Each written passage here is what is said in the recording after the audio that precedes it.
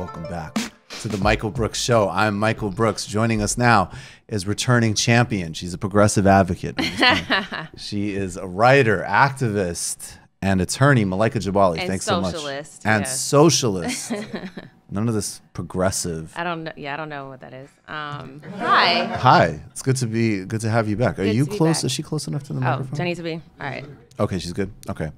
Um, how's everything been going? Things have been pretty good. Came back from the left forum, fired up. Well, we're talking. We're gonna. I wanted to ask you about. it. You were at a organizing for a post-capitalist future panel. Is that right? It was. It wasn't organizing. It was just saying anti-capitalism in the 21st century. So whatever that means. I love. What does that mean to you? Uh, a lot of things, but the way that I framed it was my um, identity as a millennial, and also just the fact that we've got a lot of folks who have kind of come into socialism through electoral politics. So how do we organize them politically? So I was looking at political organizing and like being a millennial and what that means because when you think about the 21st, should I like go off or You should or- go Is that what we're doing right now? You're here. Okay, we're here. All right. Go.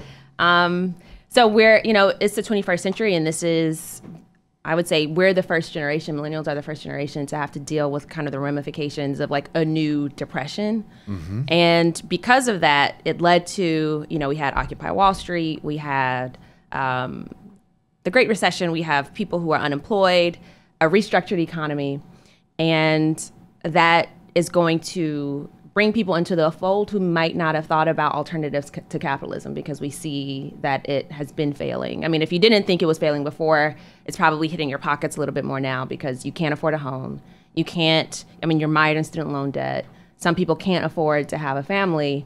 So I think it's giving people an opportunity to take a second look at something that we thought was kind of a foregone conclusion that this is where we are. And be- This is where we are. I like that. Right. Like, Yeah. Where exactly are we? and do we want to be here? Yeah, Those yeah. are good questions. Yeah, and people are ask. looking at their bank accounts like, nah, I No, don't want to actually, be I here. don't think so. Right, So this exactly. isn't this isn't making sense. And then you Right. know there's a graphic that Bernie Sanders uh, publicized. I don't remember who was who originated it, but it was like three billionaires own more than half of, or they own more wealth than the bottom fifty percent of the country. That that should make everybody angry. Like that is Enraged. completely immoral. There's no reason why we should have a, a civilized society, industrial society that looks like this. Um, and so I think people are feeling it personally. And so th- I, I kind of talked about that at the forum. How did you become a socialist? Uh, it was kind of a long road to it. Uh, both of my parents were involved in like anti-apartheid movements in Los Angeles. Um, my family was always kind of was always in the struggle, and my mom joined an organization called the Malcolm X Grassroots Movement, and it was very anti-capitalist. It had like socialist roots to it but we I didn't hear the terminology growing up, but it was a certain value system and an anti-establishment um, philosophy that we upheld. So the, you know the Malcolm X grassroots movement was like this country is not doing anything for African Americans. If we look at you know our history, it was never meant to do anything for African Americans. Like people say the system is broken, though this is exactly how it's working. So we need to separate from this you know the government. So they created their like it's called a provisional government. Um, and so I grew up instead of like the Boy Scouts or Girl Scouts, it was the New Afrikan Scouts. So in New Afrika, we had Did you ever see Matt there? sure Okay, yeah. Sorry, just curious. Go- all the time. um, and fundamentally, we believed in kind of communalism and sharing and this collectivity and worker co-ops. And so, out of the, I don't know if you've heard of Cooperation Jackson or Yeah. Chokwe Lumumba, Yeah. Lumumba, they came out of the Malcolm X grassroots movement. So when I was a kid, we would go to Chokwe Lumumba's house. Like there, there was like socialist conferences. I didn't know it was a socialist conference until you know I asked elders later on. But that was the philosophy. Um, so it was just always in my life.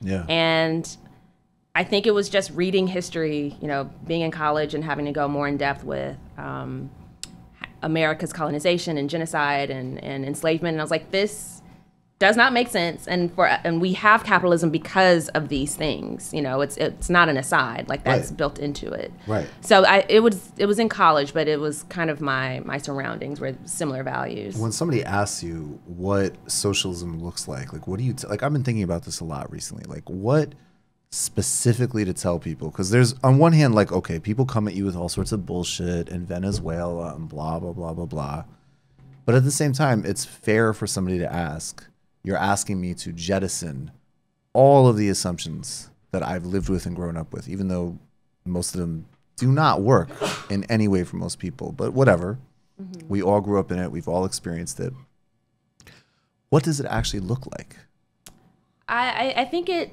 varies. I mean, we wouldn't be having these conferences yeah, and all this literature if there weren't arguments about what it looks like. Um, you know, some people would say that it's the path towards communism to have. But like to you, I'm oh, curious. so for me yeah, personally, to you, to you. Um, I'm honestly, I'm still figuring it out. I think fundamentally, it is having some sort of democratization of you know the means of production. Um, I, have thought about kind of state uh, socialism, or I guess that would be state capitalism, but where the state controls the means of production. I'm curious as to what that looks like in this government without like armed struggle. Mm-hmm. Um, so I'm still figuring it out, but I don't think, I mean, ultimately, I don't think that we should have the private sector control so many of our industries. Like, I think it should be public, whether that looks like state run or among workers. Right. Got you. Yeah, I mean, I like I like that's why I like Richard Wolff so much, among so many reasons. Is I like that he gives you like this, just some like simple premises that you can say to people. Like if you're if you're gonna idealize democracy in terms of voting, why wouldn't you think that this could be applicable to yeah. where you spend most of your life, which is in work? Yeah. Why have we lived with the assumption that that space can be totally unrepresentative and totally undemocratic, but yet democracy is great. yeah, anything that anything to me that incentivizes maximizing profits is just counterproductive. It, it, makes no sense to have our social services in those types of industries. Right. And it's built that way. Like corporate law says that in order to be a corporation, you have to maximize profits. And the only way you can get at a social angle to it is by saying that you're doing some sort of social thing to maximize profits. Right. Right. Like if you you have like what is it fiduciary responsibility yeah. your shareholders shop, right yeah. to to uh, poison people's waterways in Ecuador as an example because you need to get that oil. That's not even a question of your like personal ethics. That's literally your job. You've just watched a Michael Brooks show video, and you can watch all of our full main live shows every Tuesday night at around 7 p.m. Eastern Time and subscribe to get all of the clips you want. We're covering the globe. We're focusing on international relations, the intellectual dark web. We're having fun. We're doing deep dives with a lot of amazing guests. Of course, become a patron for the whole thing at patreon.com slash TMBS or subscribe to this YouTube channel and help us keep growing and get that content out there. Subscribe below.